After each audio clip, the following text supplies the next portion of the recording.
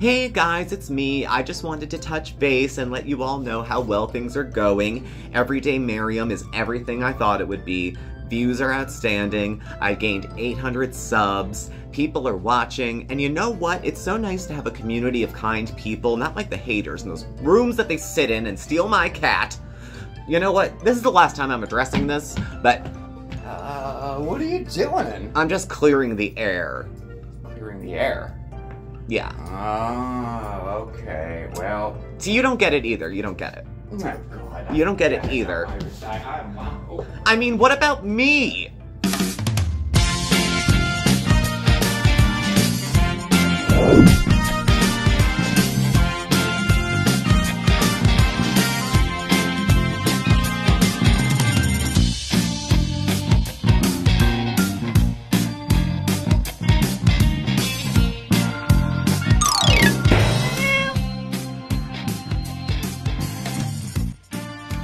Everyone, I'm Steve, Marc's around, and this is Smokey Steve and Marc. Welcome or welcome back, and happy Thursday! Here we are with another coffee break. So we're checked in most recently on Sunday in our live. Sunday, 6 o'clock, we're doing Foodie Beauty Lives. And um, we, we caught up a little bit then, but now for the midweek, it's nice. I can just share a couple thoughts on a, on a picture of what's going on on the channel and um, see if we can make heads or tails of it. So thank y'all for being here. Um, we'll just start at the very beginning. It's a good place to start. Now, if you saw the um, intro to intro uh, before we started, one of the things Chantal did this week that jumped out at me, among other things, it's her dishonesty and entitlement, and it's on full display. I mean, she left a ton of details all over the place that really painted her in a bad light. As if it was a good one before, but she did all the things that would make someone scream, doubled down on being disrespectful to people, because if other people are disrespectful to other people, then she can be rude to anyone. And it, it's been so hard to be her, Mm, so rough to being a victim the whole time. And then when she thinks there's new people that don't know who she is, they already start to kind of buy that a little bit, then they just sit through one rage chat and they leave.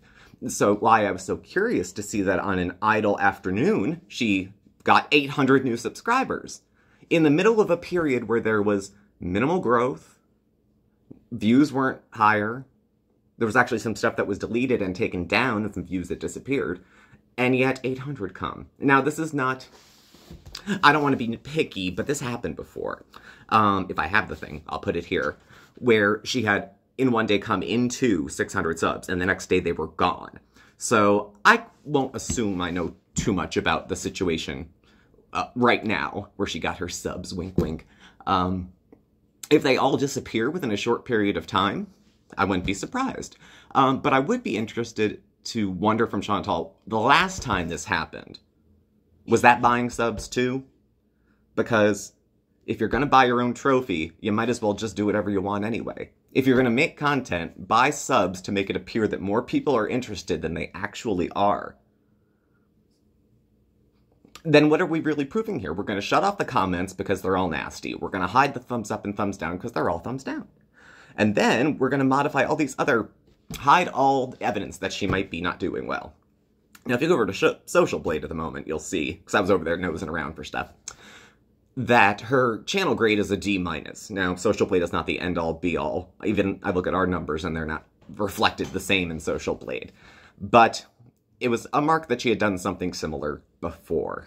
And again, I've seen other YouTubers do it. Some I think get really excited about the goal, like the 10,000 or the 100,000 or whatever it is.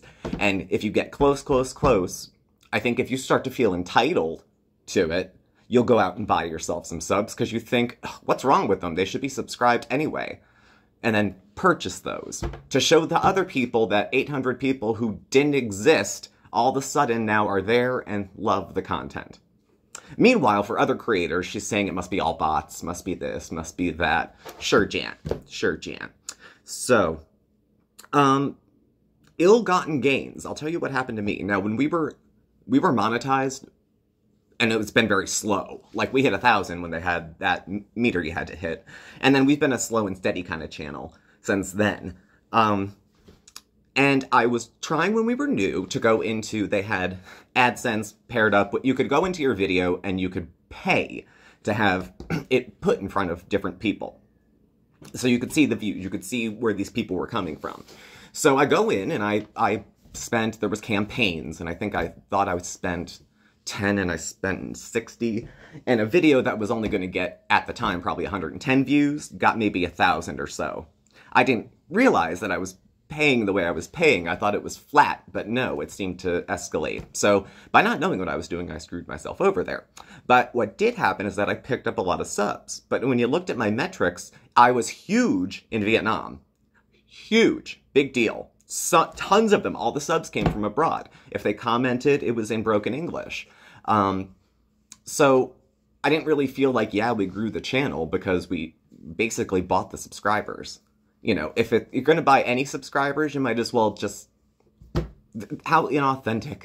To say nothing of dead accounts, when they do those wipes, sometimes quite a few things come out. So, I don't know, just saying. It would be good to stay honest with that kind of stuff. I mean, if you're so damn sure that you're right and everyone's wrong, then why don't the numbers go up steadily on their own? Why don't views continue to go up? Why do reactor views continue to go up and their channel size continues to go up? And the only content she makes is yelling about it and being a bigot.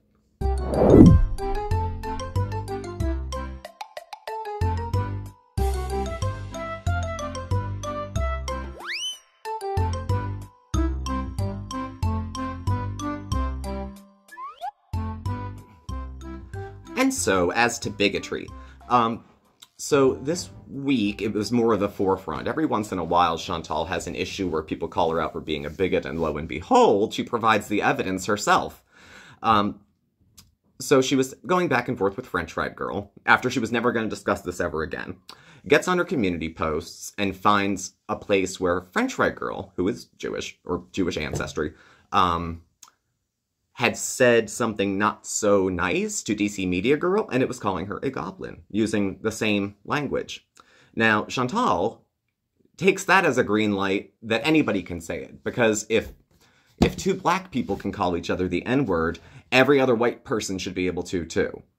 It's like being in on it. I remember they call it now something like code switching. Um, it doesn't even have to be that specific, just in-group language between people. And so if two Jewish people are going back and forth, one of my exes and his bestie were Jewish, holy shit, that they'd been locked up. They were having fun talking about their experiences of life and their heritage.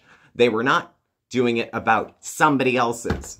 They weren't telling somebody else about themselves. They were talking about themselves and making j- jokes and jabs that they would get because they're part of the same group. When you come from outside the group and say, I should be able to use that word too, fuck what? Go. Go go. No one's gonna follow, so just just go. That kind of behavior, you know, there's a couple kinds of ignorant. There's like ignorant, I didn't know better, and then there's ignorant, I was corrected, and I don't give a fuck. I'll give you ignorant, not know better. So my step grandmother, Atlas, she passed away. It's been, it was pre-COVID. It was a while now. She's been gone. 93 when she passed. Married my grandmother, or my grandfather. That would have been wide open, huh? Married my grandfather when he was like 70 and she was 65 or something. Well, my grandfather passed, and of course, she's still part of the family. And she got Marc and I. She understood. We always used to end up sitting at the dining room table or talking in the kitchen while everyone else watched Frozen or whatever the holiday movie was, and we would just bullshit and stuff like that. And she was like, you know, it was so nice with your grandfather. It was just nice to have a companion, you know, just someone to. And she liked the word companion for Marc and I. She was like, you know, because we weren't looking to get married or have kids or have a family. We just wanted. She got it. At the same time that she got it, maybe more than anybody, she deadpan asked which one of you was going to wear the dress.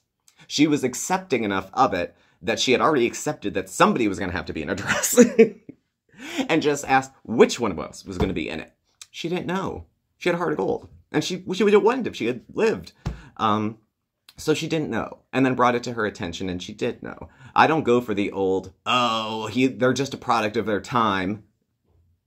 The products of your time burned crosses. Go go. So ignorant didn't know any better. Well, we talked, and you know, in in as respectful way as I can. Um, you know, I had another conversation, a more complicated one at work. There was a family member um, a mother of an individual with an intellectual disability. And during the conversation we had, she repeatedly called her my daughter.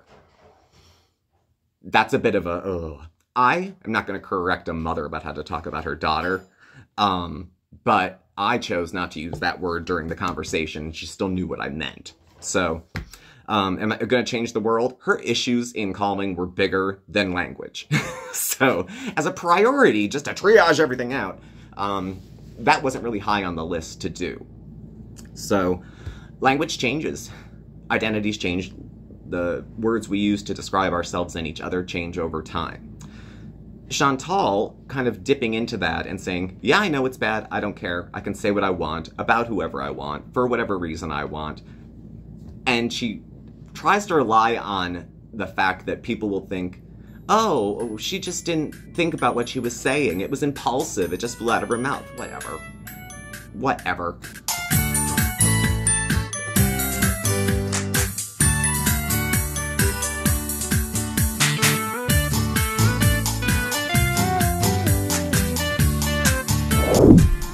But it really does for me kind of bring it back to I grew up in an area that was entirely white, small town. We weren't country, uh, but we certainly weren't city. We were small town kids.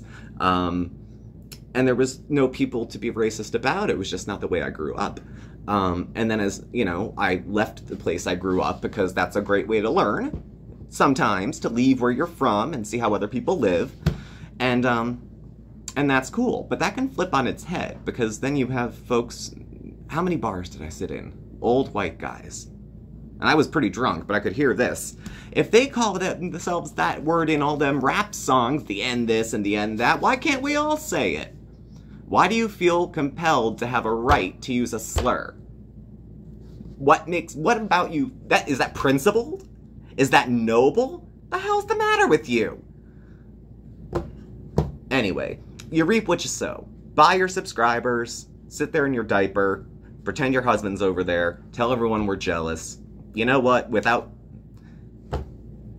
I'm really not. I'm really not. And it's not just because she's fat. What'll happen is she'll hear all this stuff about her character and write it off as people saying she's fat, and then try to rally a mob of say, look how bad they all treat me, look how terribly mean to me they are. Maybe that'll fly with the 800 new subs, but I don't know if it's to go with the bulk of the audience who are dead accounts and trolling, trying to help her die a little bit faster. And she doesn't understand that she plays right into it every time she has another chicken leg. So thank you all for joining me today. Thank you all for watching. It was a little bit of a sensitive topic, so if you hung in there, thanks for staying. Please do subscribe, hit the notification bell. You'll get alerts when we have new videos and go live. Uh, we're on X, Facebook, Instagram, all that's in our contact info, all that's below. Thank you, and we'll catch up with you very, very soon. Y'all have a good night. Be respectful of each other and respect yourself, and we'll talk to you soon. All right? Bye. Say goodbye, Marc. Bye. Hey, girl. Oh,